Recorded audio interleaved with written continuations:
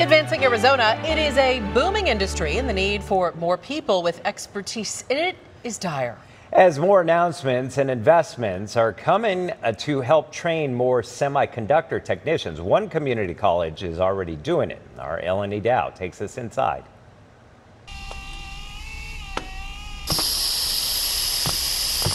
It's a quote we know well time is money.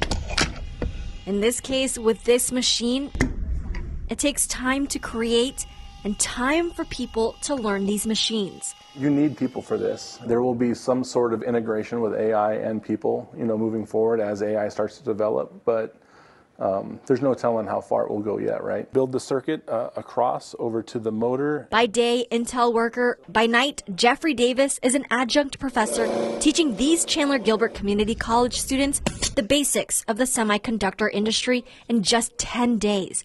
An industry he became passionate about early on in life. I built my first power supply, just taking all these parts, soldering them together, putting them together, and then being able to use it to, at that time, power my uh, Walkman so it was exciting. At 34, Dominic Ingram knew he still had time to change his career, interested in being a semiconductor tech.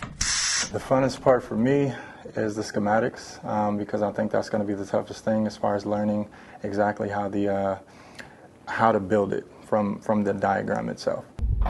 Through the Crash Course Boot Camp, there's a lot of quick learning with machines that mimic what's inside a semiconductor plant, similar to Intel or the new TSMC plant in North Phoenix. It gives the students an opportunity to see how some of the automation may happen in the factories.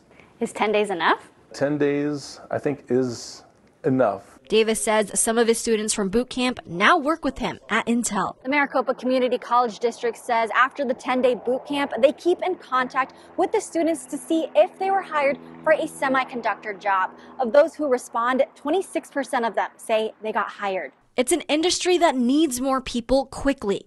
According to the White House, it's estimated there's a need of 100,000 new technicians over the next decade to help meet demand.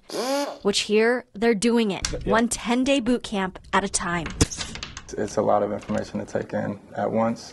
And I think some, having some of my uh, classmates around that made the, the blow a little easier too, because we actually get to work together as a team. In Mesa, Elenee Dao, ABC 15, Arizona. Eleni, thank you.